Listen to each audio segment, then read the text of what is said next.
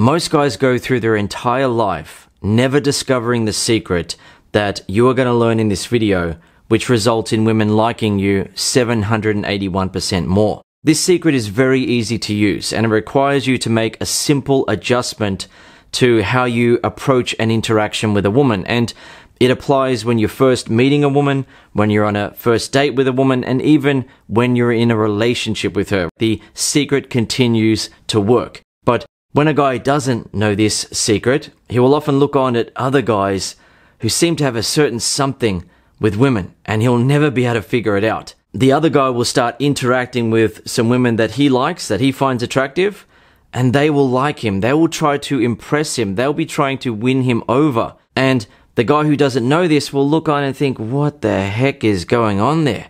Right? What is he saying? What is he doing?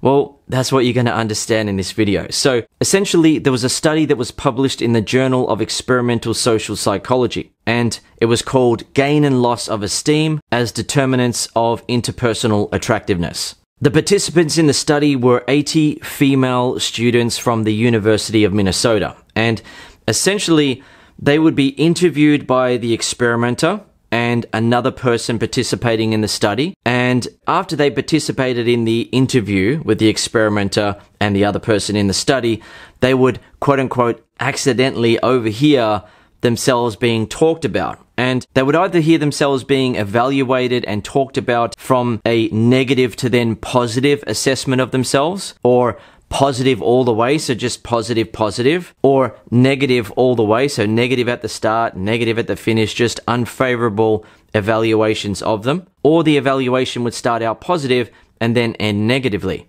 So, which of those four do you think would make a woman like the evaluator more?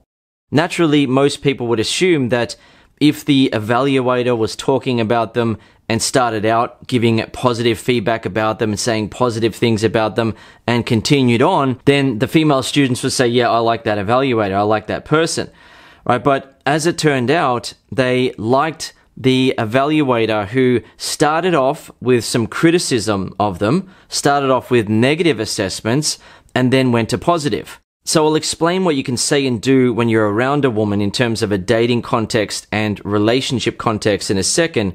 But first, I'll read some quotes from the study to help you further understand how it works. When A expresses negative feelings towards B, so when the experimenter or the evaluator expresses some negative feelings about the female student, being B, B probably experiences some negative effect, for example, anxiety, hurt, self doubt, anger, etc. If A's behavior gradually becomes more positive, his behavior is not only rewarding for B in and of itself, but it also serves to reduce the negative state previously aroused by A. Therefore, the total reward value of A's positive behavior is greater. Essentially, meaning that if the woman was made to feel a bit anxious, a bit uncertain, a bit hurt initially, and then she was made to feel accepted, to feel like she was held in the esteem of the evaluator, respected, admired, appreciated, valued, and so forth, then that would make her feel better and it would be more valuable, right? So, for example,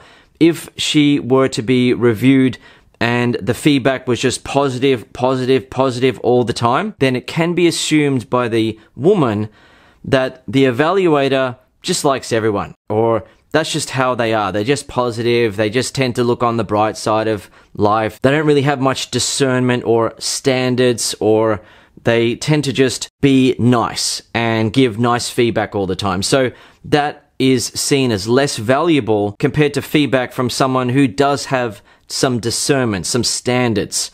Right, so they don't like certain things, but they do like other things. Right, so that seems like a more real response. So the researchers called this the gain loss theory, and the gain loss theory, in and of itself, just giving negative feedback initially and then changing to positive feedback, is not the most effective method when you're going out there starting conversations with women or starting off a first date with a woman or you're in the midst of a relationship or marriage with a woman and you want her to like you more, right? Instead, a way to help you understand it is to think about how women behave when you first meet them, right? So when you first meet a woman, without her having to give you negative feedback, she actually uses the gain loss method in that initially with most women, They will have an air about them where they are assessing you, they are evaluating you. They aren't 100% sold on you from the beginning.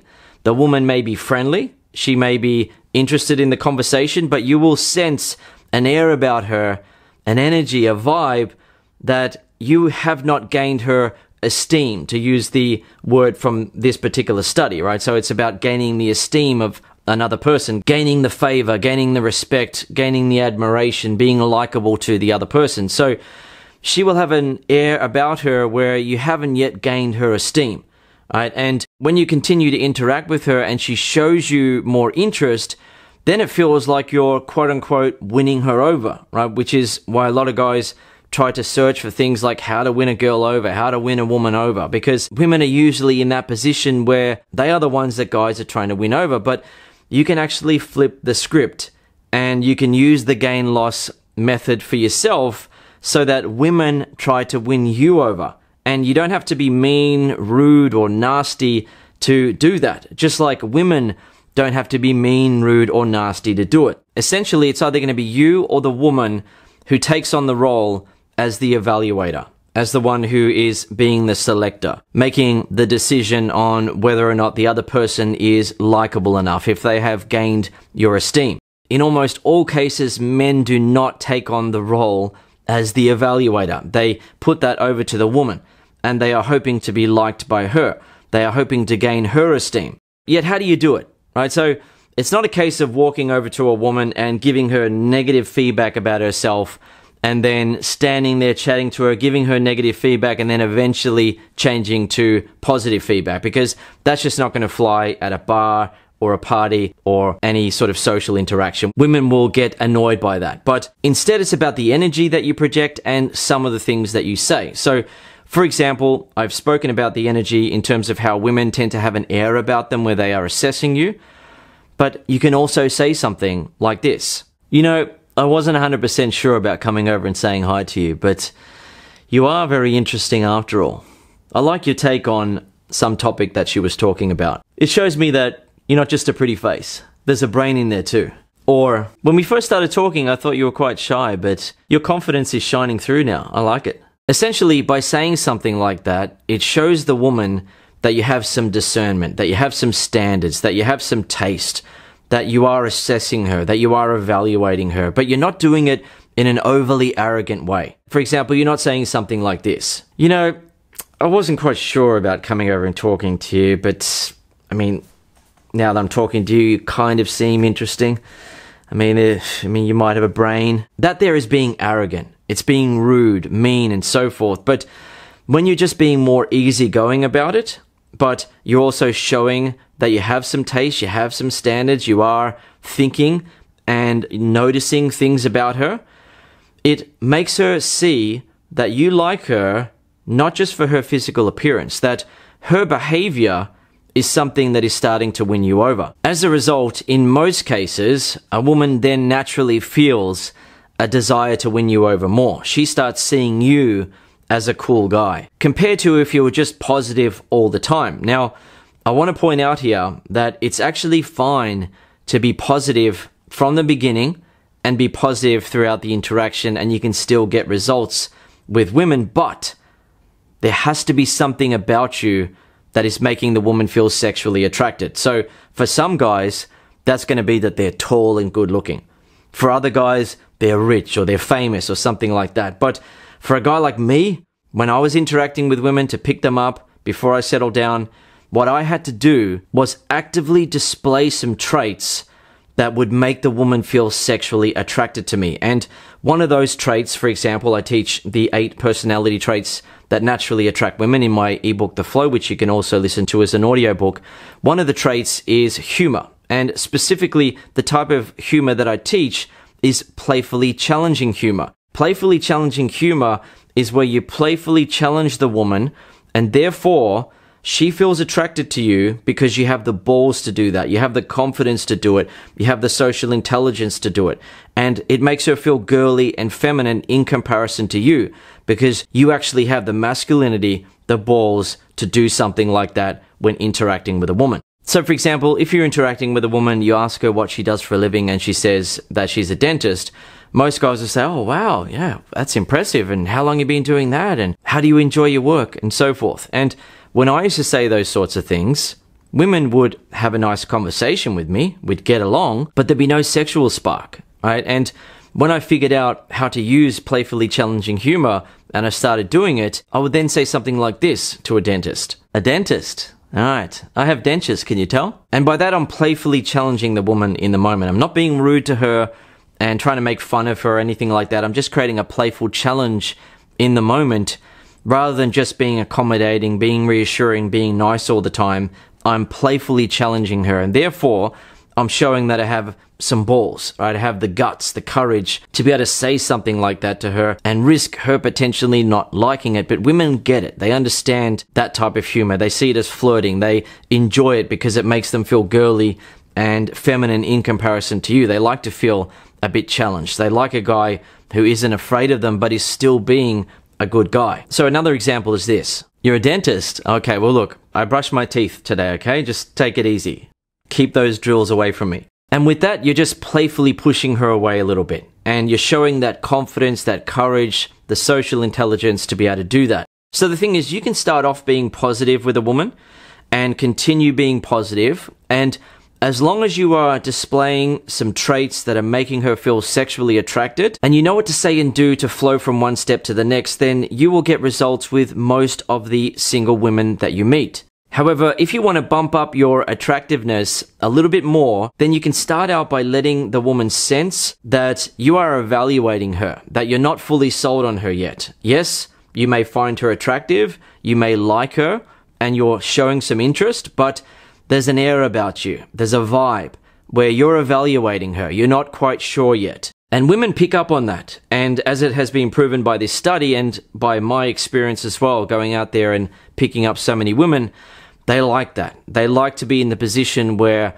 they feel like they need to win you over. Now, I'll point out that a lot of the time that I was out there picking up women, especially initially for the first few years, I was just doing positive, positive, right? It was starting off in a positive way, showing some attractive traits, being positive and moving the interaction forward. Yet as I gained more experience and I became a lot more confident in my attractiveness to women because I had so much evidence that they found me attractive and that I could go out there and pick up women on any night I went out, I started to develop an air about me, a vibe about me, where I was truly assessing the woman because I knew that if I didn't like her, right, I could talk to another attractive woman and get her instead. So when I was interacting with an attractive woman, I wasn't thinking to myself, okay, I'm just going to display attractive traits and I'm going to sleep with this woman no matter what.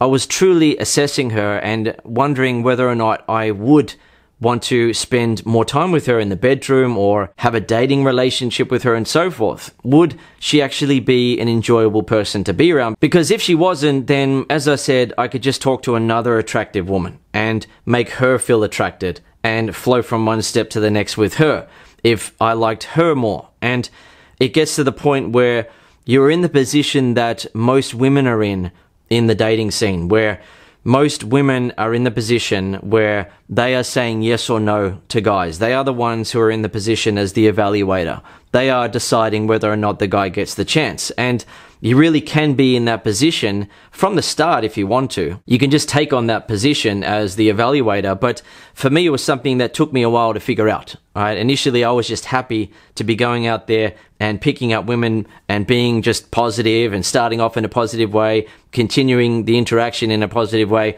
and getting laid every weekend that I went out. I was happy with that. But it gets to the point where you really do believe that you deserve to be the evaluator. And as it turns out, it actually boosts your attractiveness to women, right? So you become more attractive to women by putting yourself in the position as the one who is initially assessing her and not sure about her and her behavior, how she's coming across is winning you over and therefore you start to like her more. And she then feels excited about that because to pull another quote from the study, a gain in esteem is a more potent reward than invariant esteem. So invariant esteem means that it's never changing. You're just always getting positive feedback. You're always positively accepted. And similarly, the loss of esteem is a more potent punishment than invariant negative esteem. So going from a person saying good things about you to then saying negative things about you and not liking you feels like a more potent punishment than if it's a person just always not liking you. So, for example, in the dating scene, a lot of guys will walk up and start a conversation with a woman and they'll be positive. They'll really like her because of her appearance. But as they start to talk to her, they won't be able to handle certain parts of her personality, right? She might not be very reassuring towards him. She might be a little bit challenging for him to talk to because she's the sort of woman who needs a guy to be more confident around her. She doesn't want a guy that needs her to be reassuring all the time and constantly letting him see that she likes him, she approves of him, and so forth. She's a woman who wants a guy who approves of himself. So, what will often happen is that a guy will walk up to a woman and he'll be positive, he'll be nice to her. But then as the conversation continues, he'll start to dislike her because she's not being reassuring and warm and loving and caring towards him. She seems a little bit indifferent. And he then starts to dislike her and starts to be a little bit less nice in the interaction, potentially become rude in the interaction and potentially show her that he doesn't like her based on his body language and based on his reactions to her and potentially how he walks off from the conversation in a situation like that, she will really dislike the guy because it feels to her that he just doesn't understand her. Right? He started off being positive and he gave her that positive assessment and evaluation based on how she looked, but then he changed his behavior towards her and his treatment of her and saw her in a negative light because he couldn't handle the conversation with her. So a woman who's confident in herself and wants a guy who is more confident than her doesn't want to be with a guy like that in a relationship because it's going to require her to not be herself. She's going to have to really pander to him and be more soft and gentle with her words than she wants to be, than she is naturally inclined to be. And therefore, she's not going to be herself. She's going to feel like she's putting on an act for him and she has to basically baby him and mother him. Therefore, she's really going to dislike a guy like that. However, if that same guy with the same physical appearance walked up to her and initially had an air about him where he was assessing her. He was being positive. He was interacting with her, keeping the conversation going, showing some interest, but he had an air about him where he was assessing her. And he wasn't feeling uncomfortable and awkward because she wasn't being reassuring all the time. She would respect the fact that he wasn't 100% interested in her just based on her appearance alone. And that her behavior would have to be likable to him in order for him to truly like her. And what that does to women is that it brings out their more friendly, easygoing side. Women become more loving, more warm, more open. Now, of course, she will still be a bit challenging and she will still want to see that he can be confident when she's not being reassuring, but because she is in the presence of a man that is making her feel attracted and has taken on the role as the assessor and the evaluator, she is then naturally inclined to be the one who wants to be accepted and approved of. She is the one being evaluated. Now, if she's extremely confident and wants a guy who's more confident than her, then she will realize the position that she's in and she'll continue to be challenging. She'll continue to see if he can handle it. And if he can handle it, then what happens with women like that is that they suddenly soften, right? The woman suddenly shows that loving, warm side of herself that she rarely shows to other guys. And because you've been able to bring that side of her out and she knows how rare it is, she then likes you so much more. She then feels like she needs to have something happen between you and her. She doesn't want to stuff it up. And she then makes herself easier to pick up. Okay, so the gain loss method in terms of relationships and marriages. So, what often happens with a couple they start off being positive towards each other. And if the man starts off being positive towards a woman and then changes to negative, she can really dislike him for that. If a man was positive at the start and continues to be positive, then she will like that too. Right? It'll be comforting, it'll be secure for her. But what adds more likability to you and gives you a bit of an edge in the relationship where the woman is trying to impress you and she feels the excitement of wanting to impress you and to make herself look beautiful for you, to make herself more feminine and attractive for you, is when you take on the role of the evaluator while still being loving and respectful towards her. So it's not about being in a relationship and just giving a woman negative feedback for days or weeks and then gradually changing to say something nice about her. Instead, it's partly about what you say and it's partly about having an air about you that lets her see you find her more attractive when she is behaving in certain ways or when she presents herself in certain ways. Now, that doesn't mean only show interest in her if she does her makeup and wears a nice tight fitting skirt. If you do that, then she'll feel like she isn't attractive to you when she is wearing her pajamas and so forth, and therefore she won't feel very attractive in the bedroom, right? When she's lying there in bed at night, she'll potentially feel insecure about how she appears to you. It's important to let her see that you find her more attractive and that you are more interested in her if she is behaving in ways that are attractive to you. You give her more affection in moments like that, when she is behaving like that. And that essentially puts you in the position where you are the evaluator. And for most relationships, most men don't achieve that. What they achieve instead is that the woman is in the position as the evaluator and the guy is always trying to do whatever he can to hopefully be liked more by her and live up to her standards. But the thing is with women, you can never please a woman 100%. If you give a woman everything and do everything for her, she might feel happy in that particular moment, but